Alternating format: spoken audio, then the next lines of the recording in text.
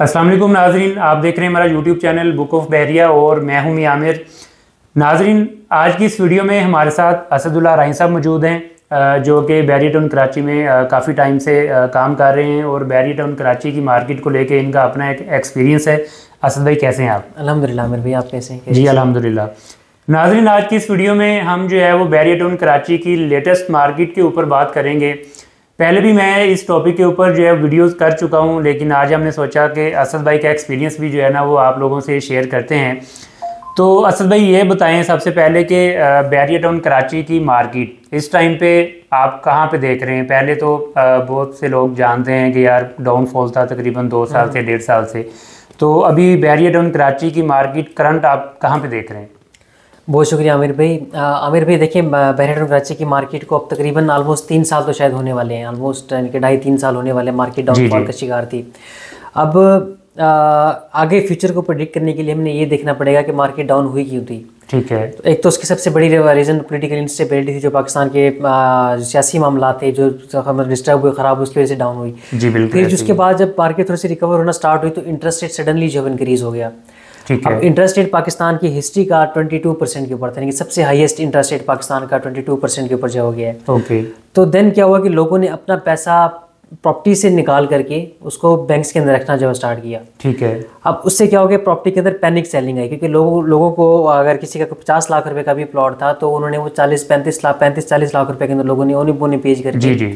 Market से उन्होंने exit किया क्योंकि लोगों को ये लगता था कि हमारा ये पैसा जो नुकसान हमें प्रॉपर्टी के अंदर हुआ ये सारा नुकसान हमारा बैंक के अंदर जा करके वो रिकवर हो जाएगा। रिकवर हो जाएगा ओके तो खैर वो एक लंबी छोटी एक बात है लेकिन अभी करंटली क्या क्या है कि हमारा जो इंटरेस्ट रेट है वो डिक्लाइन हो चुका है। ट्वेंटी टू परसेंट से नाइनटीन परसेंट पे फिर सेवनटीन और उसके बाद अब करंटली फिफ्टीन परसेंट के आया हुआ और अभी जो हमारा हमारा ये दिसंबर आएगा सिक्सटीन दिसंबर में सिक्सटीन दिसंबर को दोबारा स्टेट बैंक की जो मॉनिटरी पॉलिसी की मीटिंग है उसमें क्या होगा कि मजीद टू टू थ्री परसेंट के मजीद चांसेस है कि ये डिक्लाइन होगा।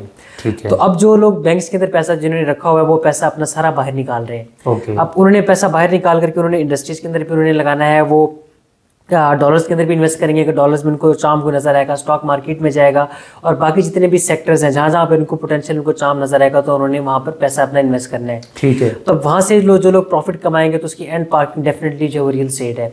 रियल स्टेट में इन्वेस्टर भी इन्वेस्ट करेंगे फिर जो एंड यूज़र है वो भी अपना जो पैसा है वो इसको रियल स्टेट के अंदर जब लेकर आएगा। तो इससे मुझे ये लग रहा है कि अभी आने वाला जो हमारा टाइम है यानी कि 2025 और 26 ये पीक टाइम है मार्केट का। ओके तो इसमें इनकी मार्केट अच्छा परफॉर्म करेगी और जो रेट्स अभी कम हो चुके हैं अभी तो काफ़ी का, काफ़ी हद तक रिकवरी रेट्स की जो वो भी चुकी है लेकिन अभी मजीद जो क्वेश्चन बाकी है वो आपका इसमें रिकवर भी होगा और प्राइसेस जो है अपनी वो पीक के ऊपर जो हो जाएँगी। ठीक है असल भाई ये तो आपने बता दिया कि market real estate sector down क्यों हुआ था? और आपने उसके दो से तीन रीज़न जो भी है जो है ना वो हमें बता दिए। अभी आप ये बताएँ कि जबकि हम लोग काम भी बैरिया टाउन कराची में ही करते हैं ओवरऑल प्रॉपर्टी का तो बहरिया टाउन कराची के अंदर असद भाई अभी आ, क्या मतलब कि तकरीबन एक डेढ़ महीने से जैसे आप देख रहे हैं कि एक थोड़ी सी जो है हाइप क्रिएट हुई हुई है रेट्स वगैरह के हवाले से भी तो बहुत सारे लोग हमसे क्वेरीज भी कर रहे होते हैं कि यार ये जो हाइप एक क्रिएट हुई है ये जीनियन है या क्या है? और इसके बाद आप हमें यह भी बताएँ बताएँगे कि पहले प्रॉपर्टी के जो जो प्राइसेस थी वो कहाँ पे स्टैंड कर रही थी और अभी कितना डिफरेंस आया बैरियर डाउन की प्रॉपर्टी में रेटों का आमिर भाई देखिए जो तकरीबन जैसे मैंने आपको पहले ज़िक्र किया ना कि ढाई तीन साल के बाद मार्केट जब बेहतर हुई है तो अब उसके बाद सारे पॉजिटिव सेंटीमेंट जब एक साथ आए थे। पॉजिटिव सेंटीमेंट क्या थे कि ज़ाहिर है कि बहरे की मैनेजमेंट की तरफ़ से भी कुछ ऐलानात हुए। आ, शायद कुरेशी साहब काफ़ी टाइम के बाद जो है लाइव उन्होंने अपनी स्पीच जो वो की थी यहाँ पर हेड ऑफ़िस के अंदर।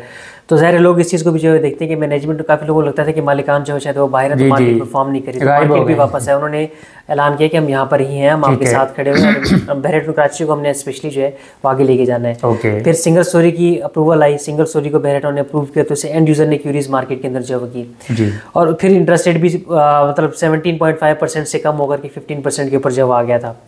तो जब ये सारी चीज़ें एक साथ मिली तो लोग एकदम से शायद एक्साइटेड हुए और एकदम से मार्केट में पैसा लोगों ने डाला। ठीक है। उसमें फिर जो सट्टेबाज थे सट्टेबाजों ने जो मैनिपुलेशन की है उससे रेट्स जो है वो एकदम से ऊपर गए जैसे मैं आपको पिछले टेन बी की एग्जांपल देता हूँ। टेन बी के अंदर जो प्लॉट्स थे तकरीबन वो thirty thirty two thirty two के अंदर प्लॉट्स जो। चल बिल्कुल बिल्कुल ऐसे अब वो सेम प्लॉट जो फोर्टी फाइव लाख रुपीज़ के ऊपर जो चले गए फिर उसके बाद जो आर्टिफिशियल एलिमेंट था वो मार्केट से जो ड्रॉप आउट हुआ। जब वो ड्रॉप हुआ तो उसके बाद मार्केट दोबारा वो चालीस लाख रुपए के ऊपर है। इनकी दोबारा से तीस लाख रुपए के ऊपर। नहीं कि अब चालीस लाख रुपए के ऊपर ही करंट जो मार्केट की प्राइसेज हैं वो चल रही हैं। आपको इस टाइम भी टेन बी का प्लॉट जो है अराउंड वो अच्छा प्लॉट होगा तो चालीस लाख रुपए का अदरवाइज़ आपको वो थर्टी सिक्स थर्टी फाइव इतने तक के आसपास आपको प्लॉट जो है टेन बी का मिल जाता है। यानी कि अपनी जो पुरानी प्राइस है उसको उन्होंने उन्होंने जो टच नहीं किया।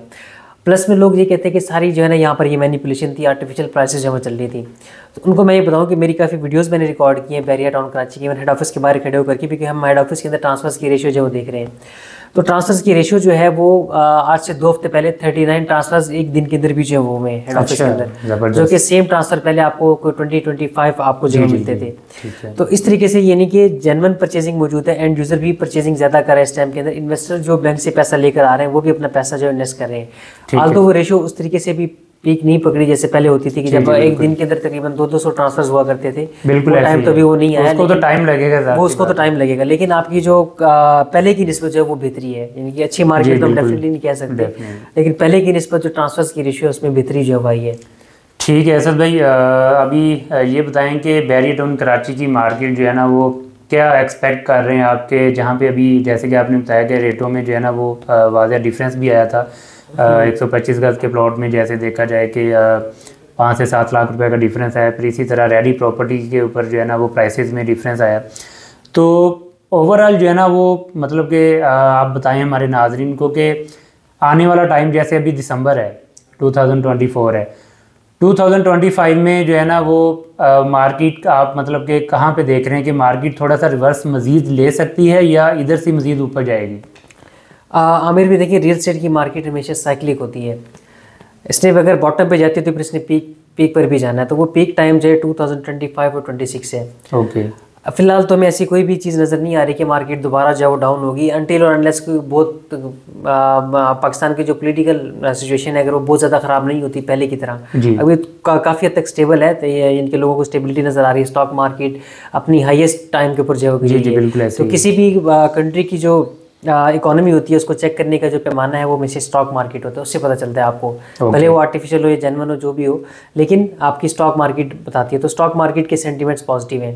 ठीक है। तो अगर कोई बहुत ज़्यादा हालात ख़राब नहीं होते ट्वेंटी फाइव के अंदर तो ये मार्केट इसी तरीके से ऊपर ही जो जाएगी। इंशाल्लाह। तो एक एक मार्केट का एक बॉटम होती है कितनी देर तक उसने बॉटम प्राइस के ऊपर जो रहना है? तो एक बॉटम से हम्म। उसने किसी ने कभी ना कभी उसने निकलना होता है। अब अगर मैं आपको दुबई की एग्ज़ाम्पल दूँ तो दुबई के हवाले से प्रिडिक्शन है कि टू दुबई के लिए बहुत बुरा साल है। अच्छा। दुबई की मार्केट में जितना साइकिल जितनी हवा भरी हुई थी इस टाइम मार्केट के अंदर उसने ब्रस्ट अब जब होना है। अच्छा। शायद वो इतना ब्रस्ट होकर इस स्टेशन पे ना आए जितने पे बैरिया टाउन की मार्केट चली गई थी लेकिन कुछ ना कुछ करेक्शन उसकी मार्केट के अंदर जब आनी है। ओके ओके तो इसी तरीके से पाकिस्तान की मार्केट है जब अच्छा ये भी एक चीज़ है कि हम अपने इन्वेस्टर से हम ये चीज़ सुनते रहते हैं कि जब दुबई की मार्केट ऊपर होती है पाकिस्तान की मार्केट नीचे जाती है। जी। जब जब पाकिस्तान की मार्केट ऊपर जाते तो दुबई की मार्केट जो नीचे चली जाती है। Okay. अब हालाँकि दुबई में खैर इंटरनेशनल मार्केट है लेकिन और वहाँ पर सिर्फ़ पाकिस्तान तो पाकिस्तानी तो इन्वेस्ट नहीं कर रहे पूरी दुनिया से लोग इन्वेस्टमेंट कर रहे। हैं। लेकिन कोई एक नेचुरल को सेंटीमेंट इस तरह का है कि पाकिस्तान की मार्केट जब डाउन होगी तो दुबई की मार्केट उठती है। वो नीचे होगी तो पाकिस्तान की उठ जाती है।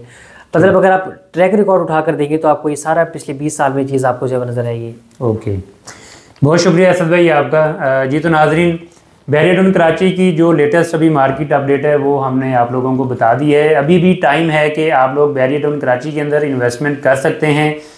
बहुत रिजनेबल प्राइसेस में प्रॉपर्टी आपको मिल जाती है। अगर आप प्लॉट्स की सूरत में देखें या रेडी प्रॉपर्टी की सूरत में मज़ीद बैरियटन कराची की वीडियोज़ के लिए हमारे चैनल को लाजमी सब्सक्राइब करें। हमें इजाज़त दें। अल्लाह हाफिज़।